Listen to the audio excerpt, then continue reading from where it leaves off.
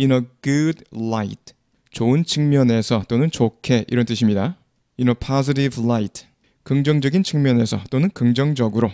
in a bad light. 안 좋은 측면에서 안 좋게 이런 뜻이고요. in a negative light. 부정적인 측면에서 또는 부정적으로. 그래서 in a 무슨 무슨 light 이런 형식으로 잘 쓰입니다. in a good light, in a positive light, in a favorable light, in a bad light, in a negative light 이런 식으로요. You must not view what happened in a negative light. 일어났던 일을 부정적으로 보지 말아야 한다. 부정적인 측면에서 보지 말아야 한다.